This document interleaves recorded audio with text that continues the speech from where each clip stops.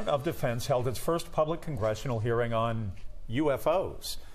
You hear UFO and you're probably thinking about aliens, Martians, E.T. E.T., Spielberg, phone home, but it is a lot more serious than that. Unidentified aerial phenomena are a potential national security threat, and they need to be treated that way. For too long, the stigma associated with UAPs has gotten in the way of good intelligence analysis. Pilots avoided reporting or were laughed at when they did.